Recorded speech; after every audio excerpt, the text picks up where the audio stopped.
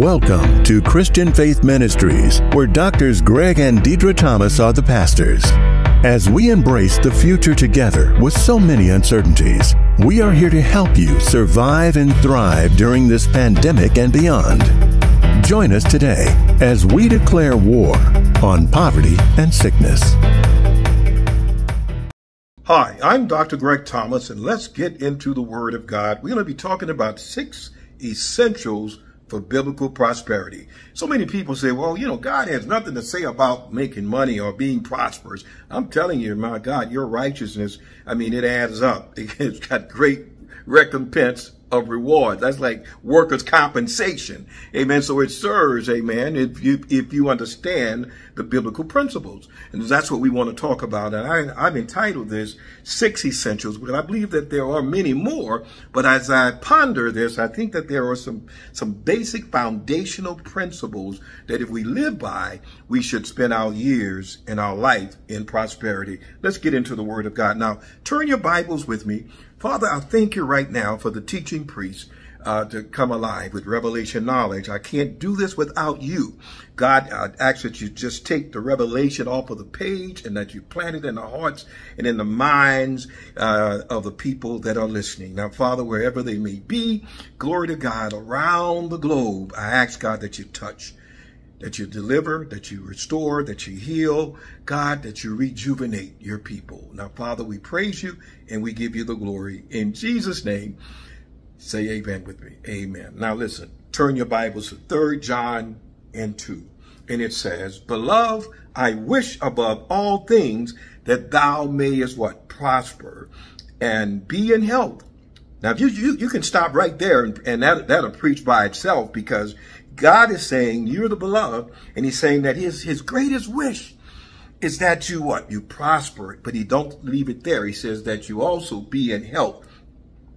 God does not get any glory out, out of you being sick. Why? Because your body is the temple that he will dwell in once you become born again. So God wants you, praise God, amen, to be healthy. Hallelujah. Some people say healthy and wealthy, amen. But health is wealth. I mean, it's a play on words. But praise God, according to scripture here, he wants you to prosper and he wants you to be in health. Now, not just physical health, but also in your mind. I was sharing with an apostle the other day day from uh, the Sudan and uh, living in Dubai, and we were talking about uh, biblical prosperity, and that I said that you know he was just sharing about how important it is, amen, that we have we develop our spiritual life, and I said yes, but it's also important that we develop our physical, amen. The physical is just as important as the spiritual because God breathed Himself into this physical, amen. And praise God. So if you're going to have the Zoe kind of life, amen, you're going to have to have the God kind of life, you're going to have to have a body, glory to God, that is healthy, amen, so that when God occupies you, he's not limited to what he can do. And then you know, he says the signs and wonders will follow those other believers. So what is a sign and a wonder? Amen, the sign and a wonder that you don't have to walk in diabetes and heart conditions and, and, and be broken down and crippled and arthritis and bursitis, just making adjustments. And man, so praise God, that's what God is saying. So he says, be in health also in your mind, your mental capacity, even as your soul. See, and he says that that's going to happen as your soul. Your soul is where your mind, your will, your intellect, and emotions. You line that up with the word of God. Now look at Matthew six thirty three, and it says, "But ye, but seek ye first the kingdom of God." and his righteousness. Now he's telling us, praise God, how important it is that we seek the kingdom, meaning the word of God. Amen. Because you can't do this in what you think and what you feel based upon your traditions of men or how you were raised in your different cultures. It's got to be based on the word of God. Amen. So the kingdom of God is not meat or drink, but righteousness, peace, joy. Amen. And the Holy Ghost. So you got to seek ye first the kingdom of God and his what? Righteousness. And all these things shall be added unto you. Now, if you desire to be prosperous, my brothers and sisters, you can't do it without being a God seeker. Are you with me? And that's where we want to begin. I believe that there are six essentials for biblical prosperity, for living the prosperous life. Now that we should teach our children, amen, and and and and they teach their children, amen, on and on and on. And here here's the list. Number one, you got to be a diligent seeker. Number two, you got to seek God, how amen, in everything that you seek. Amen. No matter what it is, don't take it for granted. Amen. Everything God should be in it. Amen. Now, number three, you got to seek his righteousness daily. And number four, keep his commandments. Do what the word of God says. You say, well, the, the old the Old Testament commandments is not for the New Testament. Well, I don't care what you what camp you come out of or what you believe, but just do what the word of God says, because the word of God is a book of promises. And praise God, with all the promises comes a principle. Amen. If you do the principle, he guarantees the promise. Amen. That he'll do for you. Amen. And then he says in hip number five, honor God with your wealth. Honor God with your substance. Honor God with your offerings and tithes. That's how we as believers, that's what we do. We tithe. A tithe is, is, is a tenth, but it don't stop there. Amen. Praise God. Your tithe could be 20%. Your tithe could be 99%. I know, praise God, billionaires in the kingdom. Praise God. Understand that what they seek is the wealth. Praise God. But it's to build the kingdom. The kingdom need money. When I was pastoring, praise God, full time in a church facility, amen, we did a lot of kingdom projects, but we could have done much more, amen, if we had the money, amen. So praise God, you need the money. You pastors is listening to me right now. You need money. You got to teach your people biblical prosperity, amen, amen. I'll be glad to come and teach that to your, your people.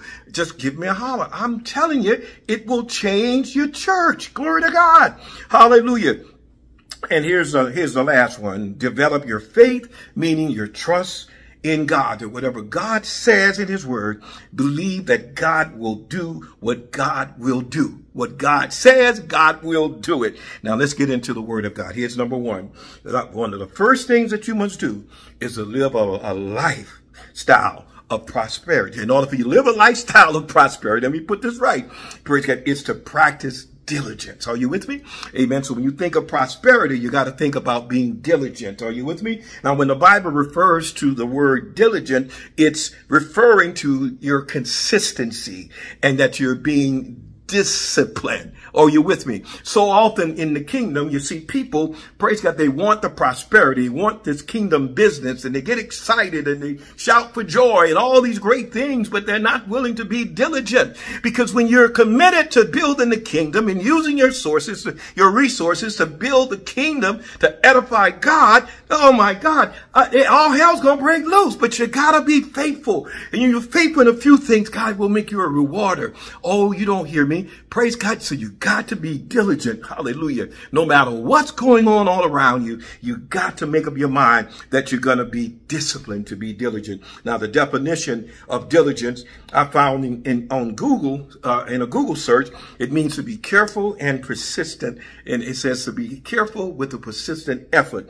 A diligent person is a disciplined person. Say that with me. A diligent person is what? Is a disciplined person. Look at Deuteronomy 28 verse 1 and 2. It says, Now it shall come to pass if you diligently obey the voice of the Lord your God to observe carefully all his commandments, which I command you today, that the Lord your God will set you high above all nations of the earth. And all these blessings shall what? Come upon you. Are you with me? And overtake you. You got to remember that. Underline that. It will what come upon you? Why? Because you've been diligent. You've made you made up your mind. You're going to be disciplined in doing the things of God because you obey Amen. The voice of the Lord. Hallelujah. Your, your diligence in obeying God's voice. You hear God's voice. Hallelujah. And a voice of a stranger you're not going to follow. You know when God is speaking. You know, praise God, even now you're listening to the word of God. You hear the voice of God speaking to you in the midst of what I'm saying. Hallelujah.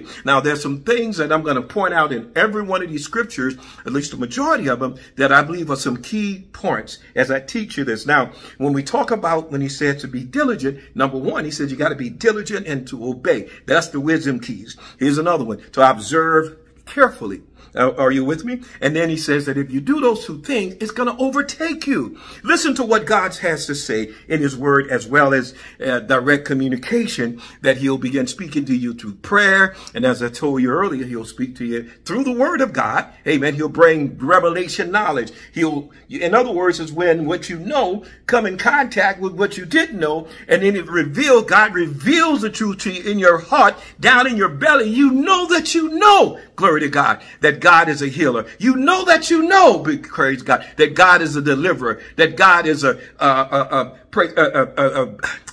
Pray that he'll break break yokes on your, your your behalf. Glory to God. He's a he's a yoke breaker is the word I was looking for. Oh my God.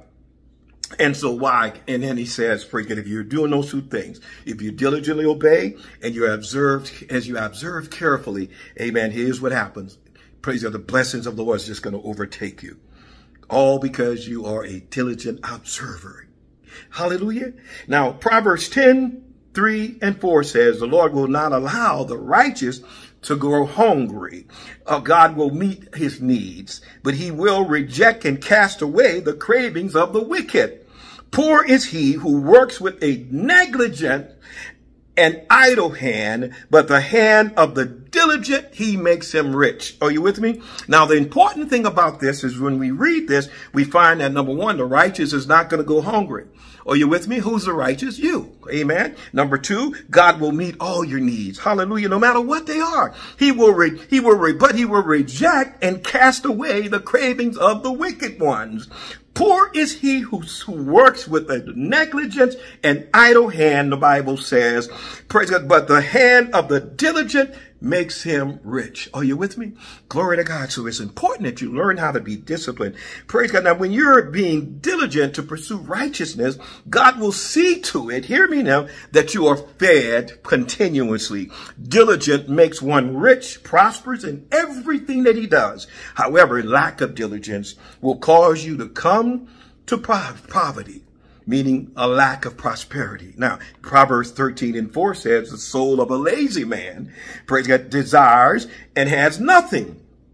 Amen. He has the same desires, but he ain't gonna have anything. But the soul of the diligent, that's the that's the deal breaker. That's the difference. Amen. You committed to being disciplined. You committed to being diligent. He says, praise God, he's gonna make him rich. Now let's go to number two. Here's number two. And then the essential number two is to seek God in everything you do. Oh my God. Somebody says, Dr. Gregg, you, you, you, you're, you're right in my kitchen right now.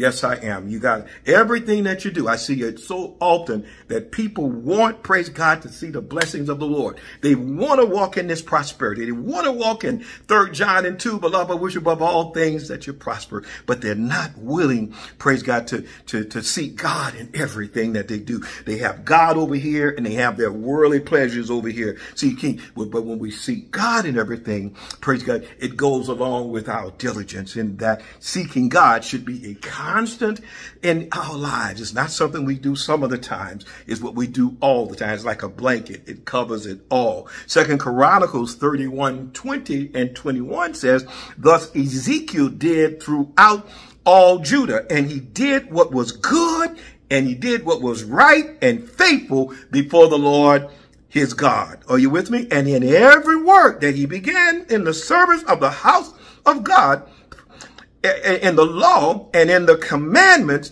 to seek his God, he did it with what? All of his heart. And the Bible says, and so he prospered. Hallelujah. Oh my God. So when you give God all everything you have, you seek God in everything that you do, and you do whatever you do, you do it with all that you have. You're not going to hold back. You're giving God everything you got in you. And God says, for that, I'm going to make you prosper. Now, he did, we see it here. He did what? He did what was good in his heart. Amen. So what's in your heart?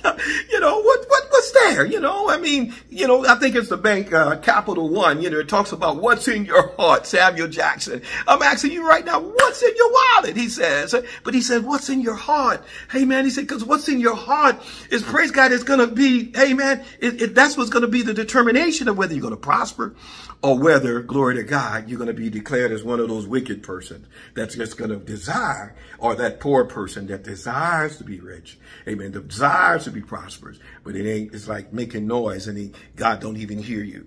See, he hears you. He watches you by your integrity to be disciplined. See, Psalms 1, 1, 2, 3 it says, praise God, hallelujah. I love this, this scripture because in this passage here, you know, it talks about being, you know, a person who delights himself in the Lord.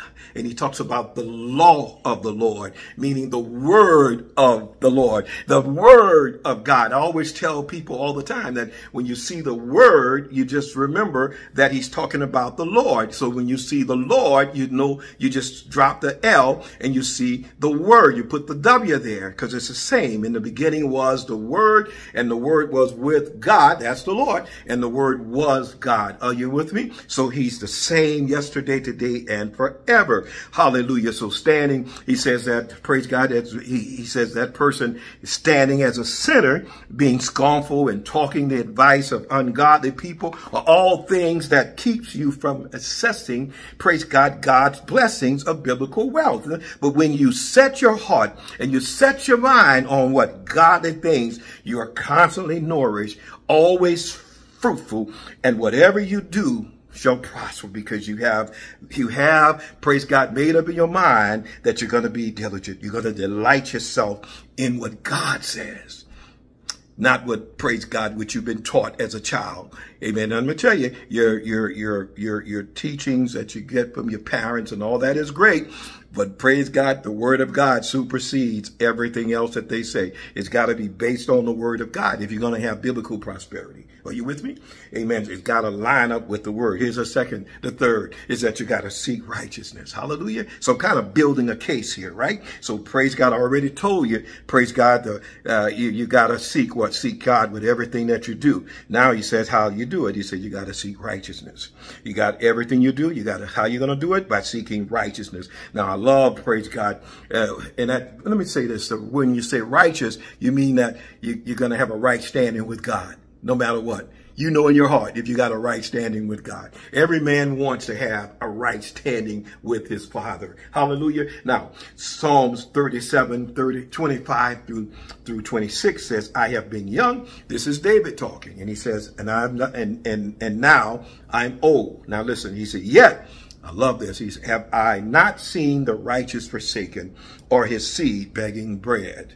He is ever merciful and lendeth, and his seed is blessed. I like that because he's saying that you're not the you're not the tail, you're the lender, not the borrower. Are you with me? He's telling you that. I have been young, and he said a testimony, and now I'm, I'm old. I mean, I'm ready to leave this place. He said, I have not seen the righteous forsaken. He said, listen to me. I know the difference. I know when I was not doing the right thing. I've seen the prosperity, praise God, that that that I missed when I wasn't doing what was right, and when I got on the right track, he's testifying. He said, I've, I've seen God prosper. He said, and listen to me. Praise God. He said, he says, I've been young and old, yet I've not seen the righteous forsaken. And then he says, and his seed begging bread. Now, seed can be two things. It could be his offsprings, uh, the children out of his lions, and then he can be talking about the seed that he plant, meaning I told you that you plant four ways. You plant by what you say, by what you think, what you, what you give, and how you live. Amen. And he's saying it's not going to go bankrupt. It's not going to return void. Now, the phrase or the st- the things that I want you to think about in this passage is not seeing the righteous forsaken. See, righteousness is a state of moral, write this down, uprightness that can only be achieved through belief in Jesus and God's plan for salvation. Now, being righteous doesn't mean you're perfect. Are you with me? But it does mean you follow God's ways and you believe in salvation. You are always seeking God's ways and living them out in your own life. Now, when you practice righteousness, write this down. Here's the things that you'll see. God will never forsake you. You won't be in poverty. Your children won't have to beg to meet their needs. You'll have the ability to be merciful, be merciful to others. You will be a lender and not a borrower, and your seed will be blessed, meaning it will multiply. Glory to God. It will flourish. Hallelujah. In the courts of our God. Proverbs 8, 18 to 21, it says, riches and honor are with me says the Lord. Durable riches. I love this. Underline that word, durable riches and righteousness. And he says, my fruit is better than gold, yea, than fine gold. Now, I like this because he says, my fruit. He, what fruit are you talking about, Dr. Gregg? Are you talking about some produce when you go to Kroger's or to Winn-Dixie or to Albertsons or no, no, no, no, no, no, no, no, no. I'm not talking about that kind of fruit. I'm talking about the fruit of the spirit found in Galatians. Now, and so he says, he says, my fruit is better than gold. So what is he saying? He's saying that your fruit, praise God, is better than gold. In other words, your fruit of the spirit is better than gold. Your, your, your, your, your, your love is better than gold. Your joy is better than gold. Your peace, your forbearance, your kindness, your goodness, hallelujah, your faithfulness, your gentleness is better than gold. Hallelujah. And then he comes back and he says, my, re- my, my revenue then, than, than choice silver. He says the reward of being fruitful, praise God, the reward from the fruitfulness, praise God, in your personality, it has great benefits, is better than gold. And he says the revenue will come back to you better than fine silver. Hallelujah. Glory to God. Hallelujah. Oh my God. He says, I lead in the way of righteousness and in the midst of the paths of judgment that I may cause those that love me to inherit substance, as that word substance, we'll talk about that over and over. That word substance in the biblical sense, praise God, in the Old Testament, it talks about your wealth, your prosperity.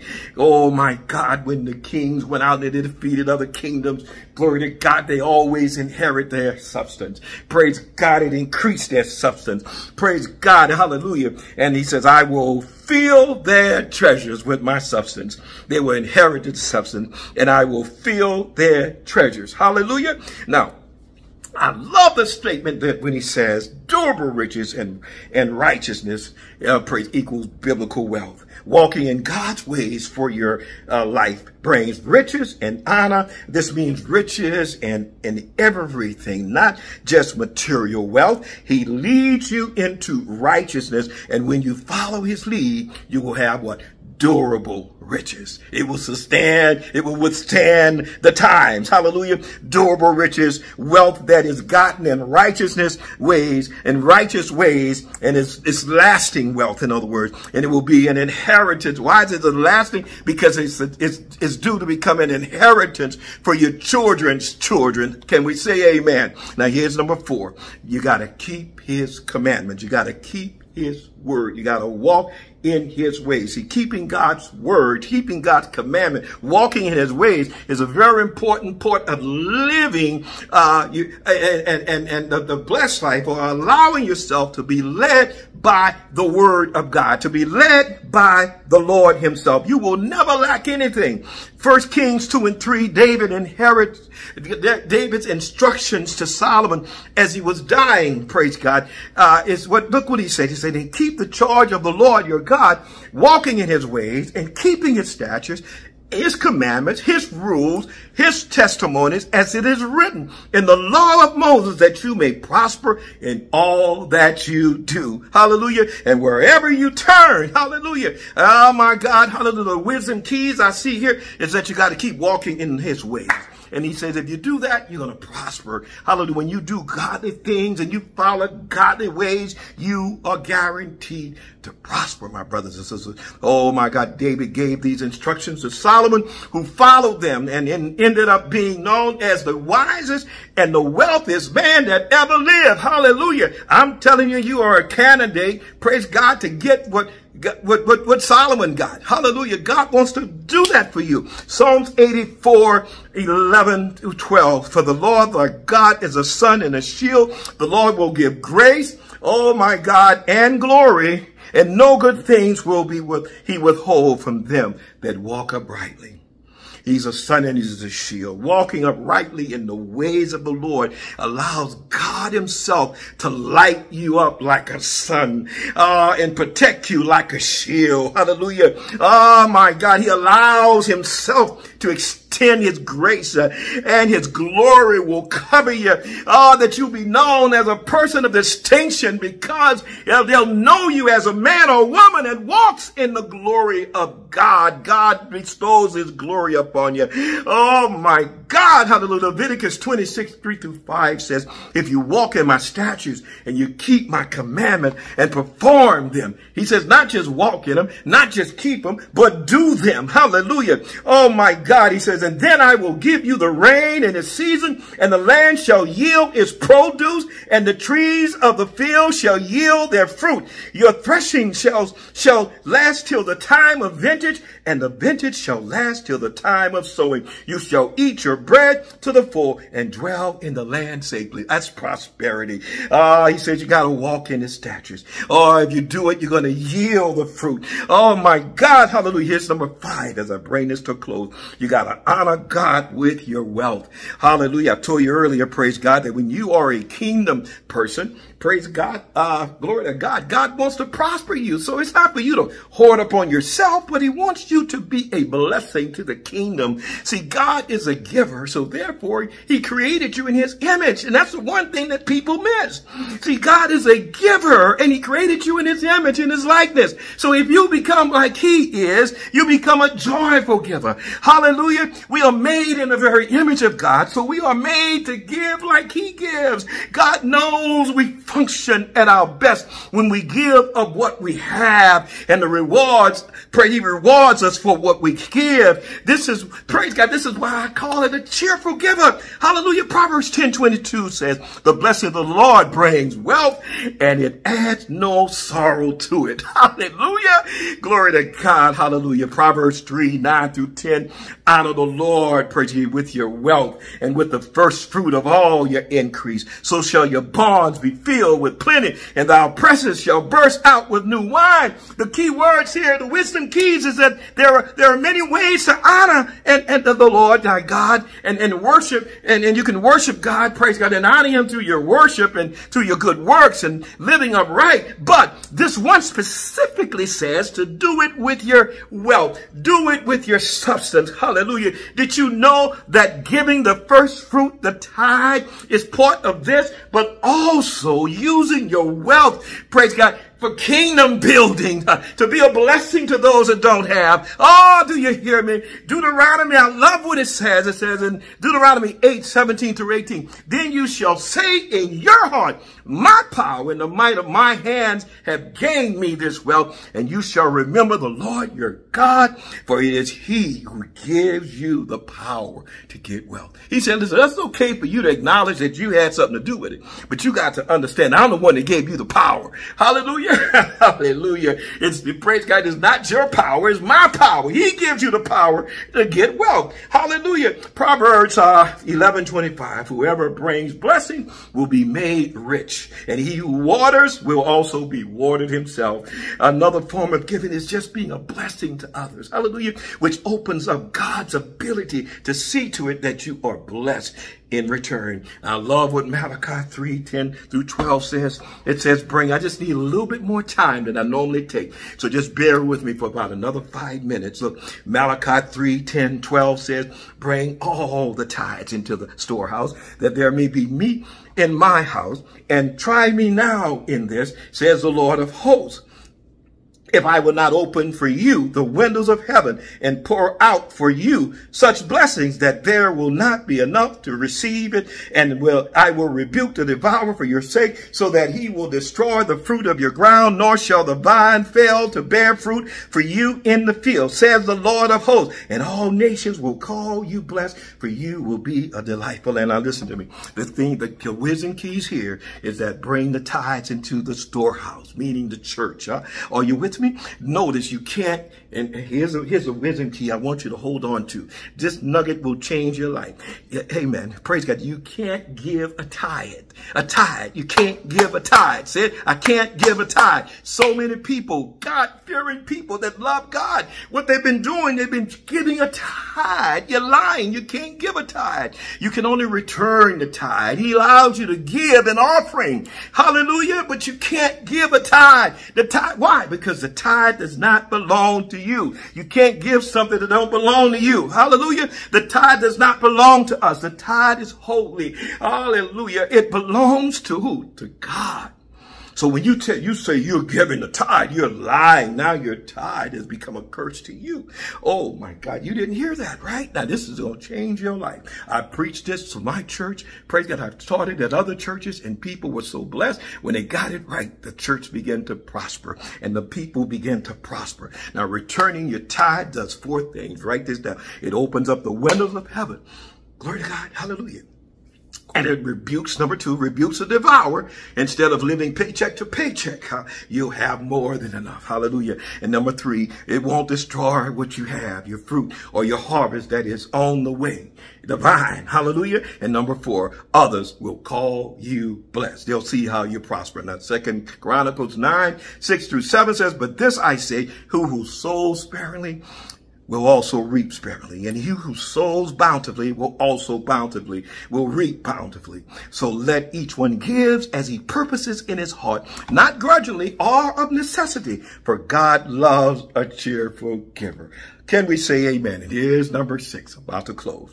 You got to develop your trust with God. That means your faith in God, no matter what. Trusting God to do what his word says glory to God, extremely important. It's essential. Hallelujah. If you can't trust God to live up to his word, then you, you, praise God, you'll believe anything. You believe, praise God, you won't give him first place in your life. Hallelujah. James 1, 5 through 7 says, if you lack wisdom, let him ask God that give it to all men liberally and upbraid it not, and it shall be given him. But let him ask in faith, not wavering, for he that wavers is like a wave of the sea, driven with the wind and tossed. For let not the man think he shall receive anything of the Lord. Here's the wisdom keys here.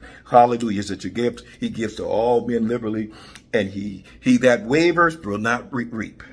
Ask God right now, and he'll give it to you. Ask him for wisdom. Ask him for understanding, and he'll be liberal with you. You must act in faith and not waver.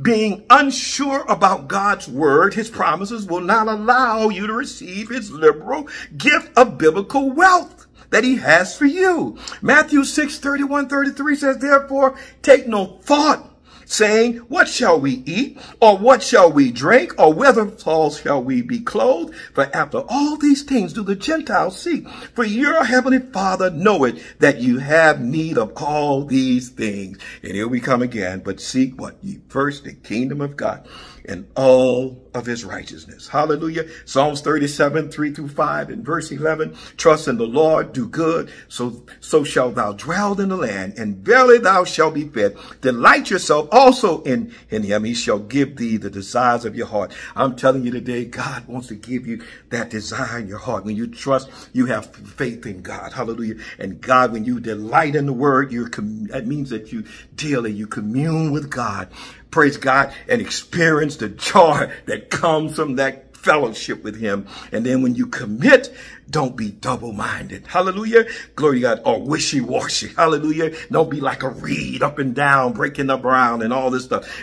Praise God. Be committed to do what God says because God's going to do what God's going to do. Oh, praise God. I pray you got something out of this. Oh my God. Time just slipped by.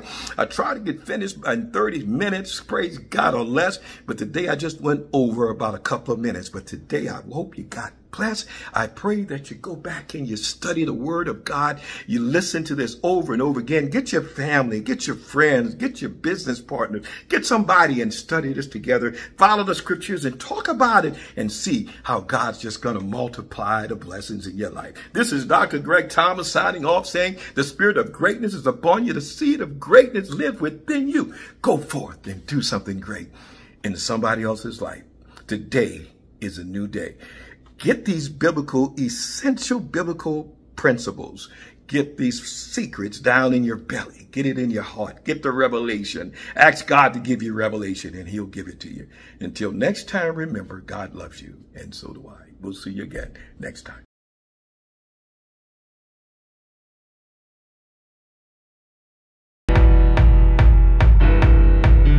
You've been listening to Christian Faith Ministries broadcast, where doctors Gregg and Deidre Thomas are the pastors.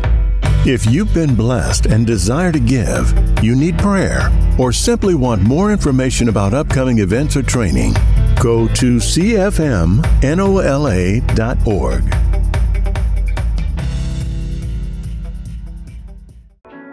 Welcome to the IMLACA Basic Boot Camp.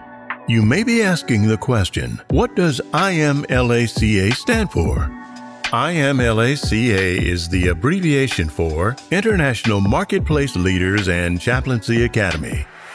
The purpose of launching IMLACA is because the world as we've known it is changing rapidly daily. When the coronavirus pandemic hit in 2019, the entire world shifted from an industrial way of doing things in the marketplace to a digital way. However, one thing that is not changed and will never change is people are suffering, and the need for marketplace ministry leaders in business, government, and the church that are equipped, trained, and released as ordained men and women of God as chaplains around the world. This academy was created with you in mind. Yes, you. You've always wanted to be used by God, to be a servant leader in the marketplace to pray for the sick, perform weddings, christenings, officiate over funerals, and much more. I believe our God has handpicked you for the IMLACA. This course is online, open book, self paced, self study, and self test. Upon completion, you will participate and receive the following 1. Certificate of Completion. 2 You'll participate in an online or in person ordination and graduation ceremony. By that time, you'll receive your ordination and graduation certificates, signet ring, chaplaincy badge, and lapel pin, digitally or by express mail.